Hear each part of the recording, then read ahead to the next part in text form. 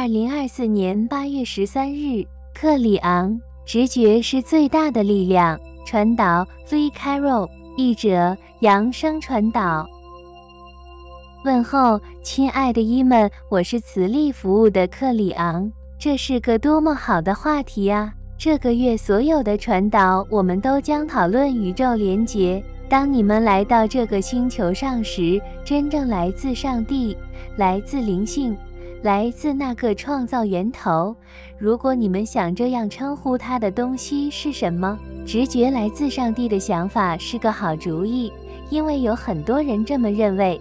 他们也许在最后一刻被他们的直觉想法拯救了。亲爱的伊们，这是一个复杂的答案。直觉是来自神的吗？这只是问题之一。它是如何运作的呢？每个人都有吗？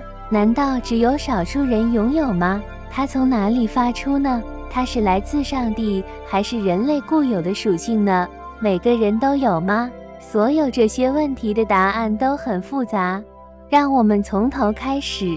我希望这个特殊的频道能让你们对一些不仅可以解释，而且开始在人类中得到增强的东西感兴趣。现在这应该会让你们感兴趣，因为他开始回答这个问题：它来自上帝吗？直觉是所有人类都拥有的东西。答案是是来自上帝吗？只是其中的一部分。让我们探讨直觉的症结所在。因为你们已经在每个人都见过、每个人都知道的基本层面上体验过它，并且让我们看看它是否有共通性。这种共性开始为实际发生的事情提供可能性。你们很多人都熟悉母亲和婴儿，妈妈们都知道这一点：母亲和婴儿之间发生的一种联系。这种特殊的联系使母亲能够感觉到婴儿是否遇到麻烦，无论婴儿在哪里，在隔壁房间或在下一个城镇，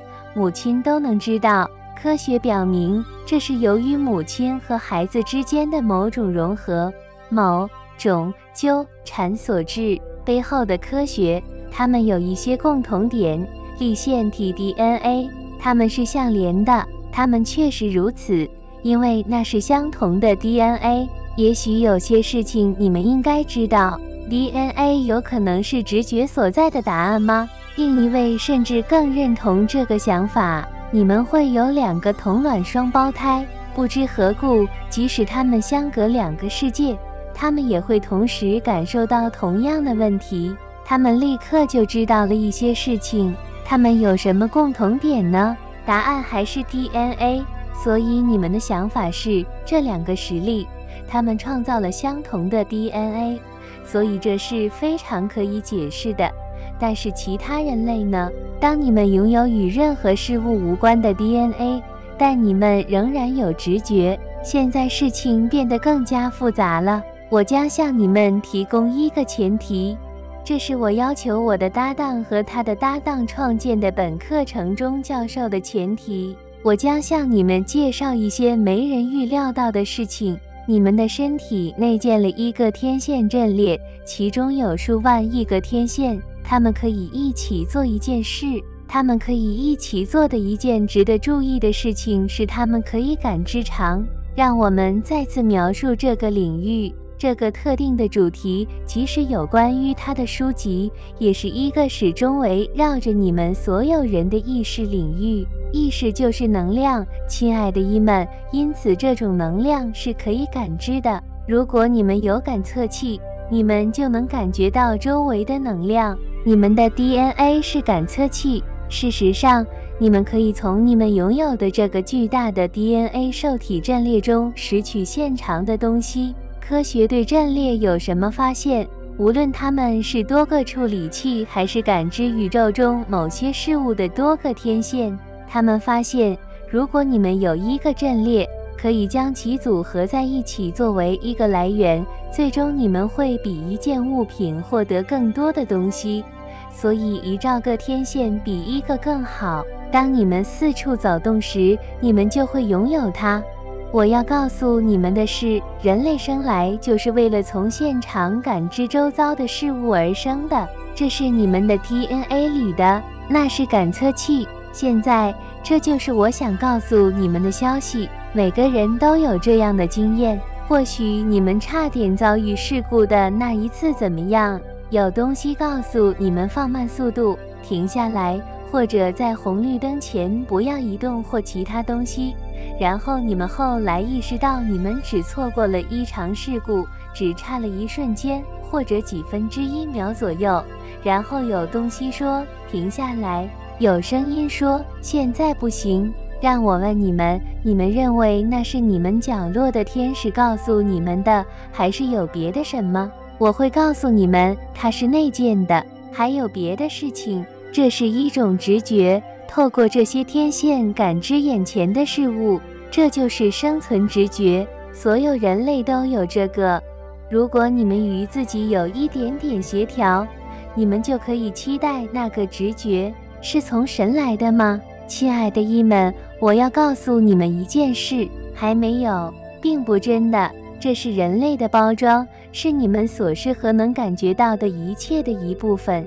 现在让我们更具体一些。假设你们的 DNA 感应感应长就像一辆车，假设每个人都有那辆车，你们在人生的道路上行驶，但你们在浓雾中行驶，你们可能会说，你们正在感觉自己的方式，因此你们正在发现，在哪条街道上左转，在哪条街道上右转，而这一切都来自于感应场。你们知道有一条路。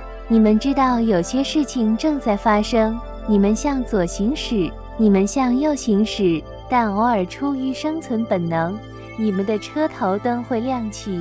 他们之前没开过，雾气消散后，你们可以生动地看到一切即将驶来的卡车，即将发生的事故。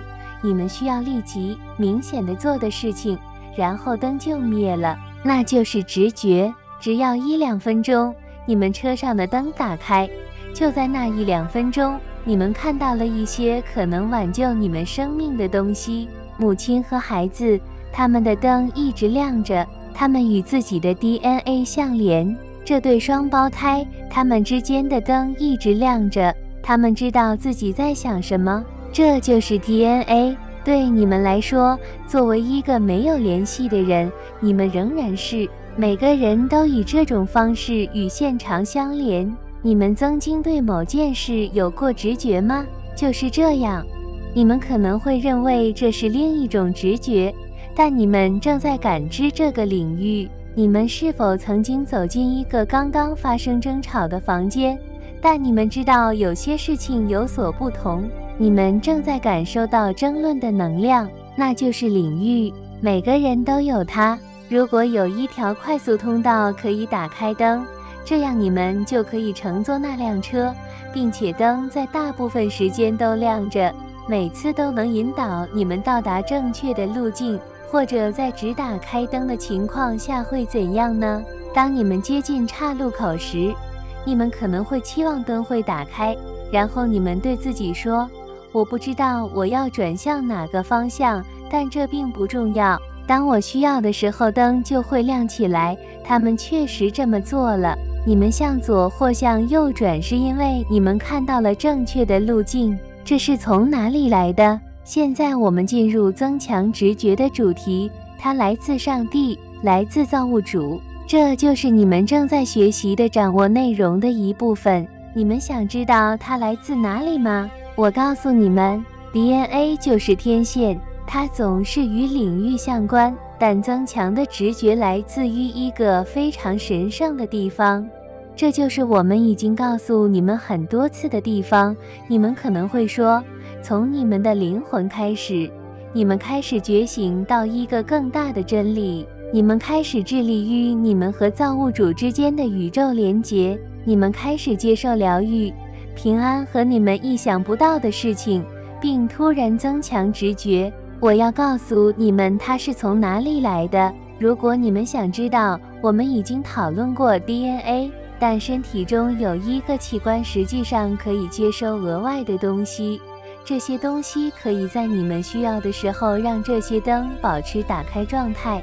所以你们实际上可以计划变得直观，计划在遇到生活问题时得到答案。这是松果体，你们以前可能听说过这个。当你们打开生活之灯时，松果体就会发育。你们可能会说，所有人类生来就有某种视力，但第二次视力是后来才出现的，这是透过练习来实现的，这是随着觉醒而来的。直觉也是如此，这很复杂，但美妙之处在于，有些直觉来自上帝增强的那一盏，那一盏与你们的灵魂相连的那盏。